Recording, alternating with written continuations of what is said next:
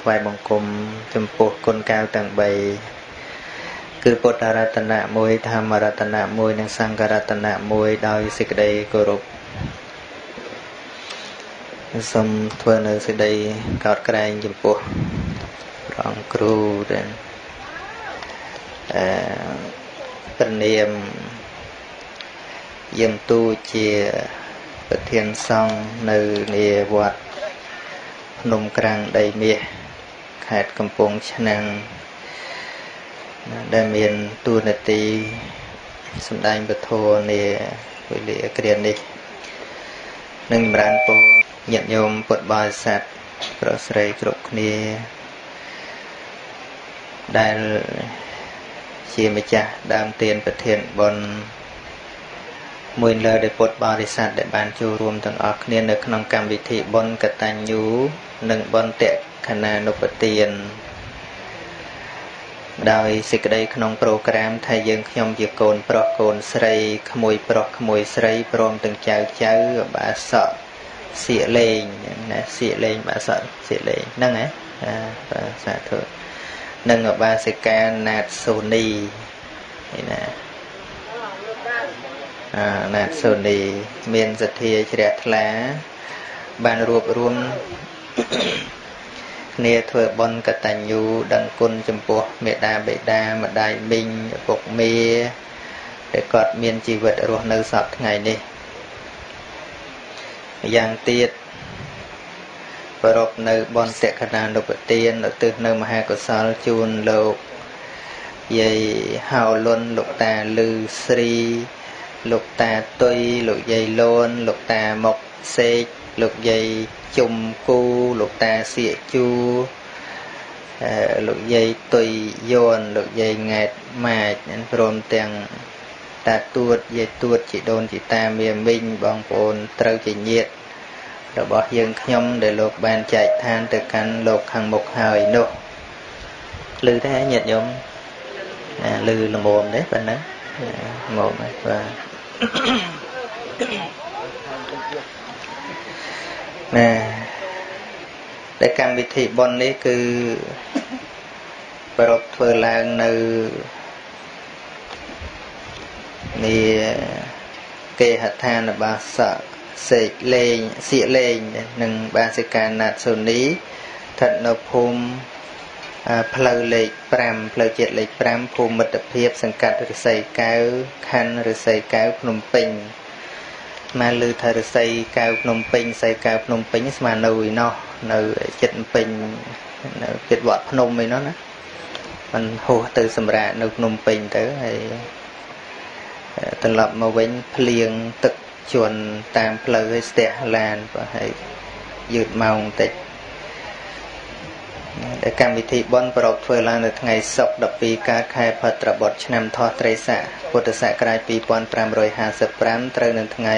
ទី9ខែកញ្ញាឆ្នាំ2011ម៉ោង12ថ្ងៃត្រង់រវេរីនឹងជូនទេយធម៌ដល់អ្នកមានគុណម៉ោង2និង30នាទីជួបជុំពុទ្ធបរិស័ទញាតិមិត្តចិត្តឆ្ងាយធ្វើបទនមស្ការប្រតនត្រ័យសមាទានសិលនិមន្តប្រសង់ចម្រើនព្រះបរិត្ត ម៉ោង4:30នាទីត្រូវសម្ដែងធัว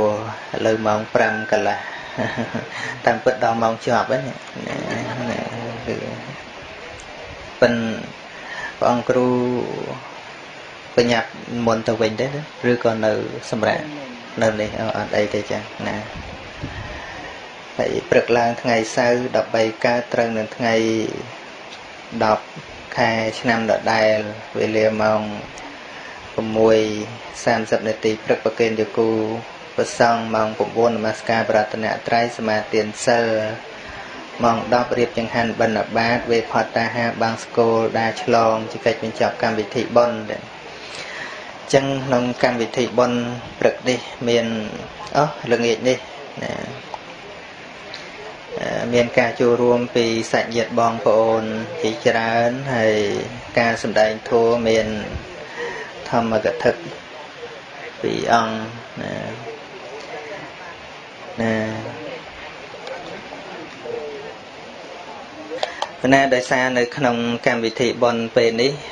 ម្ចាស់ដើមបុណ្យហ្នឹងបានដាក់ចំណងជើង ថាបុណ្យកតញ្ញូនិងបុណ្យតក្ខណានុបទានហើយជាកិច្ចចាប់ផ្ដើមនេះសូមរតនានិមន្តព្រះអង្គគ្រូនិង ពនាមយមទូចសូមរតនានិមន្តសម្ដែងតាមបតីនិងតាមចំណងជើងប៉ុននឹងក៏បានឬក៏មានអវាទល្អល្អចង់លើកមកដើម្បីជាការចែកជូនជាធម្មទានក្នុងវេលាគ្រានេះតាមកប់អធិស្ឋ័យទាំងសូមរតនានិមន្តណានមោតស្សៈភគវៈតោ អរហតោសម្មាសម្ពុទ្ធស្សៈនមោតស្សៈភគវៈតោអរហតោសម្មាសម្ពុទ្ធស្សៈអ្នកបត្ថុរតនតយសៈខ្ញុំបកណ្ណាសូមបាសការចំពោះប្រជុំ3នៃបត្រៃរត មានពុទ្ធរតនៈមួយធម្មរតនៈមួយសង្ឃរតនៈមួយដោយសេចក្តីជ្រះថ្លា បន្ទាប់ពីបទនមស្ការខ្ញុំបកណ្ណាបានអនុញ្ញាតពីព្រះអង្គគ្រូធម្មមេចាវិជ្ជរបញ្ញាសានសុជាដែលគង់នៅនេះវត្តមនីរតណាពុទ្ធមណ្ឌលណាដែល ព្រះអង្គមានបតីអនុគ្រោះទទួលធម្មទាននៅនឹងផ្ទះឧបាសកសៀកលេងនៅក្នុងពេលវេលាគ្រានេះការប្រកាសសម្ដែងពធក៏កណាអនុគ្រោះខ្ញុំបកណាត់មកភាពនឹងប្រកាសសម្ដែងពធមុន ចឹងហើយយើងកូនពៅយើងត្រូវសម្ដែងមុនណាញោមណាព្រោះយើងមិនសូវចេះដឹងហើយខ្វះខាតចំណាក៏សូមព្រះអង្គធម្មចាជួយបញ្យលនៅធរឯណាវិន័យឯណាដែលព្រះដែលមានពភាកព្រះអង្គទ្រង់ប្រកាសសម្ដែងហើយនៅធរនោះវិន័យនោះ ដើម្បីប្រោះប្រទានដល់ពុទ្ធបរិស័ទដែលជាអ្នកមានសទ្ធាជ្រះថ្លានឹករលឹកឃើញនៅបនឧបការៈគុណទាំងព្រោះថ្ងៃនេះយើងបានដឹងហើយថាឧបការៈគុណដែលមេត្តាបិតាបានធ្វើហើយមកដល់កូនប្រុសស្រីមុនដំបងបង្អស់ចឹងហើយថ្ងៃនេះកូនប្រុសស្រី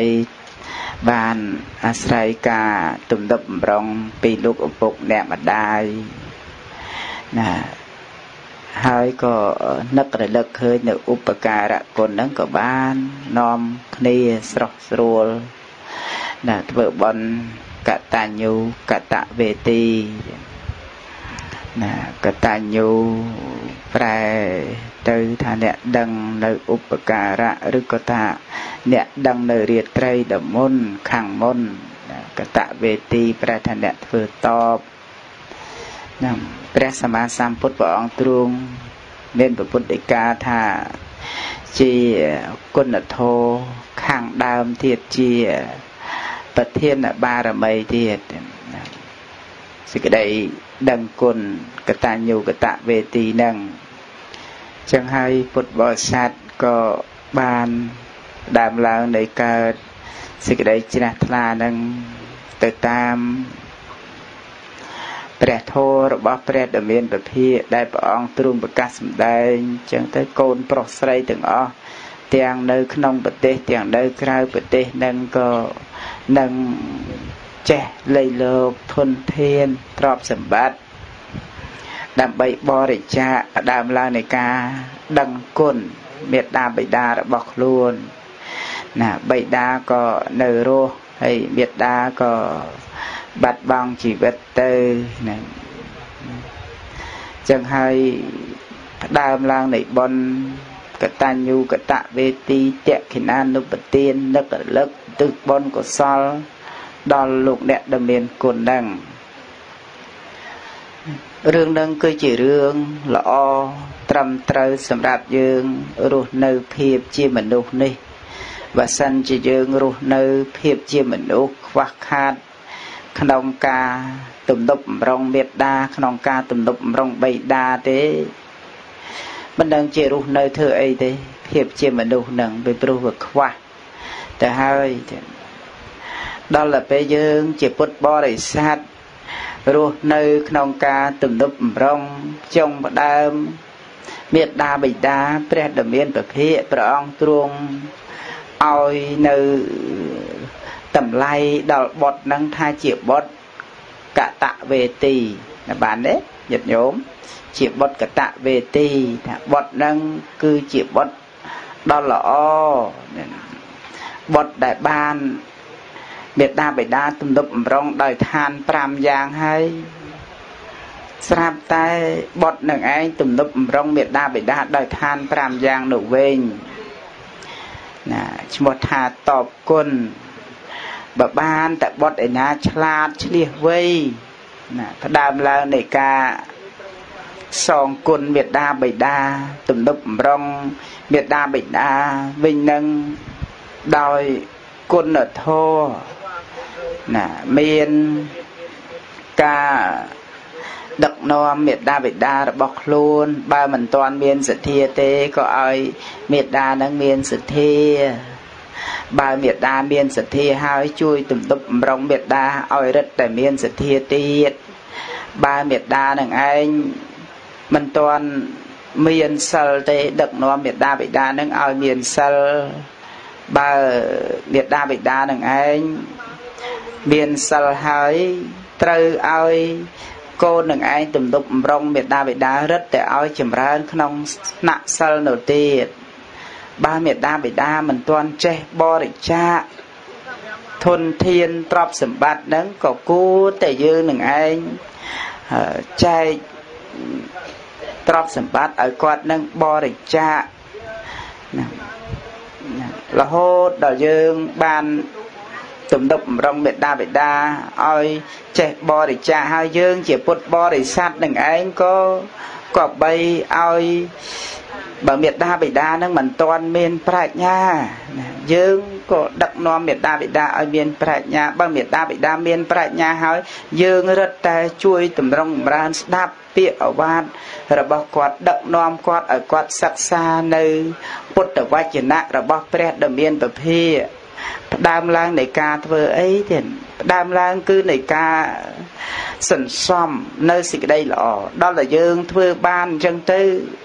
គុណតម្លៃមនុស្សនឹងថ្លៃថ្លៃព្រះដមានពភាជាម្ចាស់ព្រះអង្គទ្រង់ប្រកាសសម្ដែងកតញ្ញូតាធម្មមូលាកតញ្ញុពធានតាកតញ្ញូតាយសន្តិយាសបញ្តញ្ចវិជតិ យថាបិវិជ្ជកោមេតុភតាកតញ្ញតាកតញ្ញតានុភាវេនៈសកេសោឧបបច្ចតិកតញ្ញតាធោជាឫសគល់នៃកុសលធម៌ទាំងពួង កតញ្ញតាធោជាប្រធានធម៌ក្នុងលោកកាលណាបើកតញ្ញតាធម៌នឹងកើតមានដល់បុគ្គលណា បុគ្គលនោះក៏រមែងចម្រើនណារមែងចម្រើន ដោយកតញ្ញតាធัวហ្នឹងមែនពិតណាអញ្ចឹងយើងម្នាក់ម្នាក់គ្រប់រូបហ្នឹងតែងតែចង់បានសេចក្តីសុខចង់បានសេចក្តីចម្រើនណាប៉ុន្តែសេចក្តីចម្រើនទាំងអស់ហ្នឹងញាតិញោមជាពុទ្ធបរិស័ទនឹងមិនមែន បានមកដោយការនឹកគិតមិនមែនបានមកដោយការប្រាថ្នានោះទេវាត្រូវបានមកអំពីការទំនប់បំរុងទំនប់បំរុងមេត្តាទំនប់បំរុងបៃតាដែលព្រះដ៏មានពភាជាម្ចាស់ព្រះអង្គទ្រង់ប្រកាសសម្ដែងថាមេត្តាមេត្តាបេតា និយ៉ាងពតតាំងអាយុសាហ្នឹងគឺថាមេដាបេដាទំនប់បំរុងកូនប្រុសស្រីឲ្យរស់ដោយហើយទៅសំបីអាយុជីវិតក៏ហ៊ានលះបង់ក្នុងការរក្សានៅបុតដែរហ្នឹងមេដាបេដានឹងឯងគឺគាត់តស៊ូណាស់អត់ធ្មត់អត់ទ្រាំណាស់ហើយដល់យើងជាបុត្រធីតានឹងបើបានតែមានទ្រព្យសម្បត្តិអីហ្នឹងមិនសូវ ខ្លាចមេដាបៃតាទេព្រោះអ្នកខ្លះហ្នឹងមានទ្រព្យសម្បត្តិច្រើននឹងឪពុកព្រៀបដូចជាសัตว์មរឹកដល់កូននឹងឯងព្រៀបដូចជាសัตว์ខ្លាបងដាក់បានទេណើឪពុកម្ដាយឪពុកនិងម្ដាយនឹងញប់ញប់ញប់ញប់ទៅរកកូនហ្នឹងណានឹងរឿងរឿងអញ្ចឹងរឿងអីគុណធម៌ហ្នឹងវា វាដូចជាវិលទៅព្រោះសេចក្តីមិនដឹងការវឹកហាត់មានអវិជ្ជានឹងវាច្រើនអញ្ចឹងទៅក៏មិនបានឃើញគុណតម្លៃលោកឪពុកអ្នកម្ដាយដែលជាអ្នកមានគុណដ៏ធ្ងន់ហ្នឹងដល់តែយើងសិក្សាបានឃើញគុណតម្លៃចំពោះលោកឪពុកអ្នកម្ដាយថាមានគុណធ្ងន់អញ្ចឹងទៅ មិនខ្លាចអីក្នុងការតបនោះទេដូចថ្ងៃហ្នឹងអញ្ចឹងសំបីភ្លៀងរតិរតៈលំបាកបណ្ណាក៏ដោយប៉ុន្តែកូនប្រុសស្រី នៅតែមានទឹកចិត្តថ្លាទទួលភ្ញៀវណាព្រមទាំងបានស្ដាប់ព្រះធម៌នឹងម្ចាស់ដើមទានធានដើមប៉ុននឹងក៏ព្រោះអីព្រោះថាស្គាល់ នឹងទៅយើងបានធ្វើនៅសេចក្តីល្អគ្រប់យ៉ាងហ្នឹងអញ្ចឹងសេចក្តីល្អគ្រប់យ៉ាងគឺជាគុណធម៌សម្រាប់មនុស្សណាល្អផ្លូវកាយណាល្អផ្លូវវាចាល្អផ្លូវចិត្តនឹងជាគុណធម៌សម្រាប់មនុស្សទេវតានឹងហើយណាដល់ទៅពេលយើង បានភាពជាមនុស្សយើងមិនបានផ្ដើមឡើងនៃដឹងគុណហ្នឹងវាលែងទៅជាមនុស្សវិញហើយណានឹងព្រោះហេតុអីព្រោះតែយើងអត់បានដឹងគុណដល់ទៅពេលយើងដឹងគុណទៅភាពមនុស្សហ្នឹងនឹងមានដល់យើងនឹងគ្រាន់តែលើកឡើងខ្លីៗនៃប៉ុណ្ណឹងក៏បាននៅសេចក្តីជ្រះថ្លា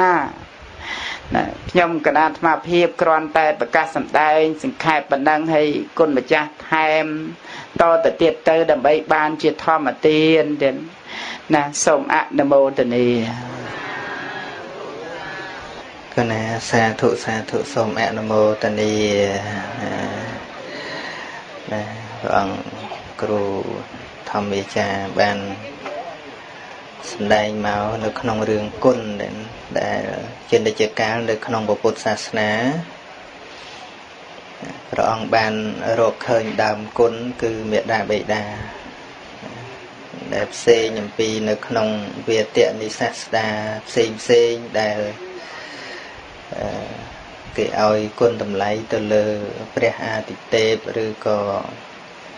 ព្រះជាម្ចាស់ផែនដីជាអ្នកមានគុណ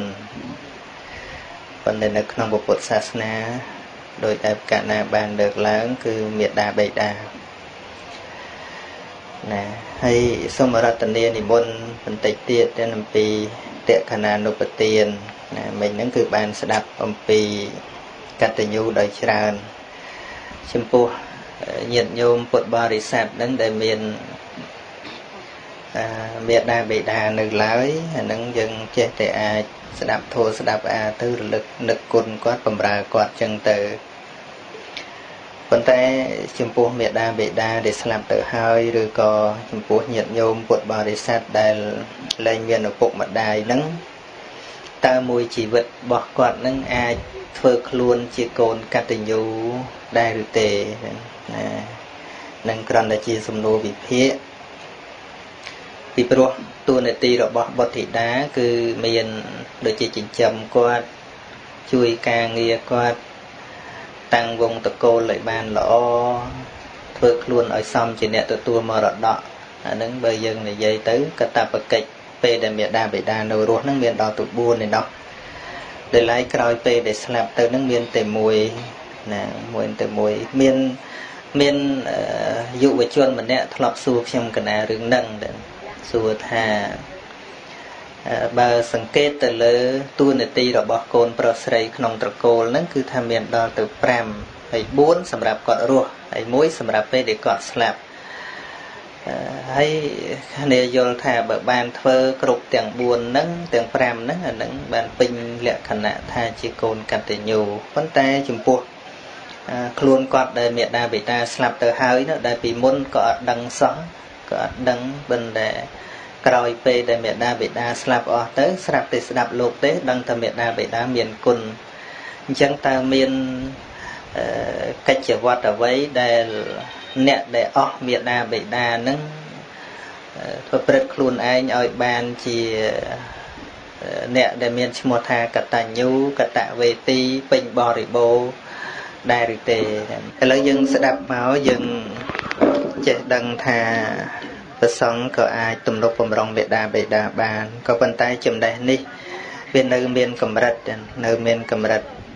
នៅក្នុងសង្គមនៃពុទ្ធបរិស័ទយើងមិនតន់ឯកភាពប៉ុន្មានទេបានជាមិនបានជាហ៊ាននិយាយថាញាតញោមដោយច្រើនមិនតន់ឯកភាពមួយយ៉ាងមកពីមិនសូវយល់ដឹងហើយមួយយ៉ាងទៀត មិនសូវឃើញប្រសងធ្វើកតញ្ញូចំពោះមេដាបេដាឥឡូវហ្នឹងតាមពធទេសនាព្រះអង្គបានសម្ដែងមកគឺថាបច្ច័យ4ជីវរបណ្ឌបាតសនាសនៈគិលានភេសជ្ជៈហ្នឹងពំនុកបំរុងមេដាបេដាបានហើយបើថាមេដាបេដានឹងមានជំងឺចាស់ជរាអីទៅអាចទៅបំរើទឹកក្តៅទឹកត្រជាក់បានប៉ុន្តែបើ ប្រសិនបើប្រសង់ធ្វើមែនបើលោកសង្ឃធ្វើមែនមានទស្សនៈច្រើនណាស់សពថ្ងៃទៅផ្ទះញឹកហ្នឹងញាតញោមថាមើលមើលមើលទៅផ្ទះញឹកញឹកសង្ស័យតែចង់សឹកណាអ្នកខ្លះថាអញ្ចឹងហើយអាត្មាធ្លាប់មានតាំងពីនៅសាមណេរគ្រាន់តែមាននំប៉័ង2 3យកទៅជូនញោមគាត់មើលមើលមើលវាយកឲ្យទៅញោមវាណាតែគាត់មិនចែកផងអានេះជាការសម្ដែងថាបើស្ដាប់ សម្ដីពុទ្ធបរិស័ទហើយយើងយកមកវិភាគមិនបន្ទោសគាត់តែជួនកាលគាត់មិនដែលឃើញប្រសងធ្វើណាឬក៏ការយល់ដឹងហ្នឹងវានៅមានកម្រិតណាតាមពិតកិច្ចដឹងគុណនេះអ្នកបួសគួរតែដឹងជាងអ្នកអត់បួសណាពីព្រោះអ្នកបួសមានតួនាទីជាអ្នកសំដែង ជាអ្នកដើរជាអ្នកប្រព្រឹត្តជាអ្នកធ្វើឲ្យគេមើលធ្វើឲ្យគេមើល តួយ៉ាងដូចជាសវណ្ណសាមអីចឹងឬក៏ដូចពិខុមួយអង្គដែលអង្គធម្មមេចាបានលើកមកអំបញ្ញមិញចឹងបាទបញ្ញត្តិញោមដែលបានស្ដាប់ហើយមិនទៅអីទេញាតិញោមមិនទៅថាអូបើមានពិខុសាមណេរណាលោកឧទាហរណ៍ថាបានញាតិញោមជូនចឹងទៅទៅប្រកេនលោកទៅប្រកេនជាបច្ច័យ4ក្តីជាវត្ថុសម្ភារៈឆាត់អីអីចឹងប្រកេនផ្ទាល់ខ្លួនហើយលោកយកទៅឲ្យញោមលោកអីអត់ អត់អត់ខឹងទេអត់ខឹងទេហ្នឹងហើយអត់ខឹងទេណាអាហ្នឹងហ្នឹងបានបានស្ដាប់យល់បើថាព្រោះណាដូចគុណតើប្រកេនលោកអីលោកចូលទៅបានឆាត់បានអីអាប្រកេនតខ្លួនលោកទៅជូនញោមលោកអញខំប្រកេនលោកយកទៅឲ្យម៉ែវាសោះអាហ្នឹងមានន័យថាស្ដាប់ធัวអត់ចេះទេណាស្ដាប់អត់ចេះទេពីព្រោះ បច្ច័យ4របស់លោកវាលែងតែរបស់គរុផនរបស់សង្ឃរបស់អីហ្នឹងលោកមិនអាចចែកបានញាតិញោមគួរសរសើរណាគួរសរសើរទោះបីជាញាតិញោមមានកូនបួសហើយបើកូនញាតិញោមដឹងញាតិញោមអញ្ចឹងក៏ញាតិញោមសប្បាយចិត្តដូចតែគ្នានឹងឯងមែនទេហ្នឹងហើយសប្បាយចិត្តដូចតែគ្នានឹងយើងសំខាន់ឲ្យមនុស្សដឹងធัวដែលរារាំងមិនឲ្យដឹងគុណហ្នឹងគឺអវិជ្ជាអវិជ្ជាហ្នឹងវាមានច្រើនសន្តាន អវិជ្ជាដោយធម្មជាតិហ្នឹងគឺម្នាក់ម្នាក់ដែលកើតមកធំពេញរូបពេញរាងហ្នឹងវាភ្លេចអស់ទៅហើយកាលពីតូចម៉ែយើងធ្វើអីខ្លះឪយើងធ្វើអីខ្លះហ្នឹងភ្លេចអស់ហើយដូចថ្មអីមាននឹងចាំអីការដេកលើកតូបអីមានចាំណាអត់ចាំទេណាមិនដឹងហ្នឹងក៏ជាអវិជ្ជាដែរប៉ុន្តែវាមិនមានទោសអីទេអារឿងមិនដឹងដោយមិនមានញាណប៉ុន្តែគ្រាន់តែបើមិនរលឹកបើមិនសពិចារណាហើយធ្វើពើធ្វើហីទៅអានឹងទៅជាទោស ណាហើយបើនិយាយពីការដឹងគុណការទូនមានព្រានបដៅកូនប្រុសស្រីនឹងវ័យអាត្មានេះវាដូចជាមិនតន់ទំនងអាត្មាធ្លាប់បដៅកូនសិស្សអាត្មានឹងសាមណេរមួយអង្គលោកមកបួសនៅជាមួយអាត្មាហ្នឹងក៏លោកចេះទេសនាពីរឿងគុណរឿងអីហ្នឹងសម្បើមអាយុទៅតែ8ដល់10និយាយពីលោកទេសនារឿងគុណនោះព្រោះនោះព្រោះ ណាប៉ុន្តែប្រហែលព្រះអង្គគ្រូអីល្មមហើយវ័យច្រើនចេះហើយប៉ុន្តែនិយាយពីលោកនៅក្មេងណាកូនត្រូវទំនុកបំរុងមេដាបេដាយ៉ាងនេះយ៉ាងនេះនិយាយដូចមែនមែនអញ្ចឹងណាណានិយាយនិយាយដូចមែនមែនអញ្ចឹងណាតាមពិតចំណេះដឹងវារៀនមិនមិនបានដោយខ្លួនឯងដោយសារតែស្ដាប់អ្នកល្បីល្បីពីមុនចាស់ចាស់ធម្មកថាចាស់ចាស់លោកទេសលោកយកអាសម្ដីហ្នឹងយកមកទេសដែរតែប្រៀបទៅវាមិនត្រូវនឹងវ័យរបស់ខ្លួនឯង ណាហើយរៀបសឹកទៅវិញហ្នឹងអាត្មាចេះបដែផ្ដាំត្រូវគោរពឪពុកម្ដាយអីចេះចុះគេហ្នឹងមិនអីទេកណាចេះធัวប៉ុណ្ណេះហើយហ្នឹងគេណាណាមិនអីទេចេះធัวប៉ុណ្ណេះហើយបានអាត្មាផ្ដាំខាងកំតន់អាទុកចិត្តណាវិជាគុណប៉ុណ្ណឹងកំតន់អាទុកចិត្តអានេះគ្រាន់តែចេះលងាវពីចម្ងាយទេមិនតន់ប្រឡូកពុបួសតាំងពីតូចអាយុ8 10ស្ដាប់ធัวទៅវិញក៏មិនចោលធัวដែរម៉ែបយលហើយស្រេច ផ្ដាំទៅហើយស្រេចហើយបើមិនដូចពាក្យអាត្មាទេ ឆ្នាំក្រោយជួបគ្នាចាំបរិយរាប់ថាទៅធ្វើបានប្រហែលភាគរយអាត្មាប្រាប់ថាឥឡូវនេះព្រះអង្គដឹងគុណកណាជឿកណាជឿណាថាព្រះអង្គដឹងគុណទី1ព្រះអង្គនៅចិត្តធัวកថាទាំងឡាយដែលយើងនិយាយតែងតែពិភាក្សាពីរឿងគុណខ្ញុំកណាក៏តែងតែលើកឡើងពីរឿងគុណ កសែតធួននានាក៏តែងតែលើពីរឿងគុណព្រះអង្គអាចបង្អោនចិត្តទៅតាមនឹងដឹងហើយដឹងគុណថាម៉េចថាម៉េចថាម៉េចណាកណាជឿមិនមែនមិនជឿទេក៏ប៉ុន្តែបរិស្ថានជុំវិញព្រះអង្គនឹងឯងវាមិនតន់សង្កត់ព្រះអង្គទេឧទាហរណ៍ដូចជាមហូបអាហារដូចជាបាយទឹកអីញាតិញោមប្រកេនយ៉ាងច្រើនទៅបិណ្ឌបាតបន្តិចបន្តួចបច្ច័យ4ក៏មិនប្របាក់ទៅរួយណា ដែរមានញាតិញោមប្រវារណា ណែសឹកទៅវិញគ្មានពីណាមុននឹងទឹកឯងឆាន់ទៀតទេណាទៅនៅជាមួយម៉ែឪទំនួងជាមិនបានដាំបាយឲ្យគាត់ផងមិនដឹងណាបើទោះជាគាត់ដាំក៏គាត់គ្មានទៅអឺលោកកូននៅអញ្ជើញឆាន់ទៀតអត់មានទេបែរជាហៅពាក្យមិនសូវព្រោះអឺមកស៊ីបាយនៅពេលនោះលុយក៏មិនមាននរណាជូនទៀតដែរម៉ែបញ្យល់ច្រើនច្រើនច្រើនគេថាមិនអីគេថាមិនអី ណាគេមិនទៅតមាត់ជាមួយម៉ែឪអីទាំងអស់សឹកហើយឆ្នាំក្រោយមកជួបអាត្មាវិញណាមកជួបអាត្មាវិញមកថ្វាយអង្គមអូយលោកគ្រូថានឹងត្រូវដល់ណាត្រូវដល់កាលមកនឹងគិតថាមកបំរើម៉ែណាមកមិនមិនគិតថាអាត្មានិយាយអស់មិនណាទេចដូនមួយអាត្មានឹងឯងណា គិតថាទៅបំរើគាត់ប៉ុន្តែដល់ទៅមិនដឹងជាយ៉ាងម៉េចដូចបំរើចូលចង់តែឆ្លោះជាមួយគាត់យ៉ាវាទៅជាអញ្ចេះវិញណាវាចឹងទៅចឹងណាជួនកាលបាយឆ្អិនគាត់ហប់ហៅហៅហូបបាយហ្នឹងគាត់ថាអឺអូនស៊ីបាយថាមិនចង់ស៊ីនោះគាត់ហៅចង់តែខឹងគាត់វាទៅជាអញ្ចឹង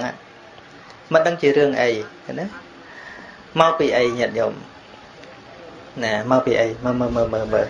នៅលោកទេសនាឡើងព្រោះ រឿងគុណគុណគុណគុណគុណគុណណាដល់ទៅវិញចង់ឆ្លោះទៅជាមួយម៉ែហ្នឹងអាហ្នឹងមកពីអីណាហ្នឹងហ្នឹងអាហ្នឹងមកពីអីក៏មកទៅណាហើយអាត្មាចាប់អារម្មណ៍ហ្នឹងចាប់អារម្មណ៍អញ្ចេះចាប់អារម្មណ៍អារឿងវារឿងធម្មតាទេអាហ្នឹងប៉ិនគេចាប់អារម្មណ៍អញ្ចេះអាត្មាហ្នឹងវាហាក់វាដូចជាដើរខុសមកចំហៀនវានិយាយប្រាប់អាត្មាថានៅពេល លោកគ្រូនឹងនិយាយថាទៅវិញនឹងវានឹងកើតរឿងយ៉ាងនេះយ៉ាងនេះយ៉ាងនេះគេថាស្ដាប់ទៅព្រោះប៉ុន្តែគេអត់ជឿតែពេលមិនតន់សឹកពេលអាត្មានិយាយប្រាប់ណាណាហេតុអ្វីបានអត់ជឿវាថាមកអំពីអាត្មានេះបួសតាំងពីនៅតូចរឿងអីទៅដឹងរឿងកុហកច្រើនម៉េចណាវាអត់ជឿនិយាយត្រូវនិយាយតាមតគេឬក៏និយាយតាមតមើលពីក្រៅ តែចឹងបានអាត្មាថាអាត្មានេះវាខ្វះបត់ពិសោធន៍បើសិនជាមានប្រពន្ធមានអីឲ្យហើយមានកូនឲ្យបានមកបួសប្រហែលជាគេនិយាយទៅគេជឿច្រើនរាល់ថ្ងៃឲ្យតែនិយាយរឿងបដៅកូនចេះចុះត្រូវទូនមានអប់រំប្រពន្ធនឹងត្រូវមានធួចេះចុះហ៎ដូចគុណបានតថាដែរតែមកទៅដូចតែអាត្មាដែរហ្នឹងឯងអូដូចតែកណាដែរហ្នឹងឯងណាចឹងមែនទេណាអឺដូច ដូចគេការឥឡូវក៏គេនិមន្តអាត្មាទៅទៅឲ្យអាវាតដែរប្តីត្រូវសង្គោះប្រពន្ធចេះចេះចេះចេះអាត្មានិយាយទៅព្រោះអ្នកខ្លះក៏ស្ដាប់តាមទៅអ្នកខ្លះដូចគុណបានថាទេមកសង្ស័យប្រពន្ធជាមរាយហងដឹងណែមូលហេតុហ្នឹងហើយបានព្រះសម្មាសម្ពុទ្ធព្រះអង្គមុនទិញទៅបួសព្រះអង្គត្រូវមានមួយសិនមែនទេកុំឲ្យគេថាអាត្មារាល់ថ្ងៃគេថាណាណា ស្រីស្រីនៅស្រុកអាត្មាលោកបងសង្ស័យថាអត់កើតទេបានអត់សឹកអត់អីសោះនេះគេថាអញ្ចឹងហើយញាតិញោមគិតថាមិនអាត្មាណាណាជឿទេគិតថាអាត្មាកើតទេមើលទៅហ្នឹងហើយនេះវាវាមិនមែនជាមូលហេតុអីទេបើនិយាយគាត់ឲ្យគិតគ្រាន់ថាជាងការអឺការគិតវាមិនដូចការធ្វើញាតិញោម ណាការគិតហើយនឹងការធ្វើជាងការវាមិនដូចគ្នាអញ្ចឹងបានជានៅក្នុងពុទ្ធសាសនានេះវាមាន លំដាប់នៃព្រះសទ្ធំហ្នឹងមានបរិយត្តិសទ្ធំមានបដិបត្តិសទ្ធំនិងបដិវេធសទ្ធសទ្ធំមានការសិក្សាហើយនឹងការគោរពប្រតិប្រតិបត្តិហ្នឹងណាដល់ម៉ោងប៉ុណ្ណឹងហើយការសំដែងពធអង្គគ្រូធម្មមេចាក៏លោកលើកមកគ្រប់គ្រាន់ល្មមបុណ្យកតញ្ញូក៏និយាយតក្កណានុបទានក៏និយាយហើយអត់មានអី ខ្វះខាតទៀតទេណាសូមបញ្ចប់ពធប៉ុណ្ណឹងចុះការសំដែងពធក្រេ2សំគួរដល់នៅពេលវេលាបញ្ចប់តែប៉ុណ្ណេះឯងអេវ៉ាំង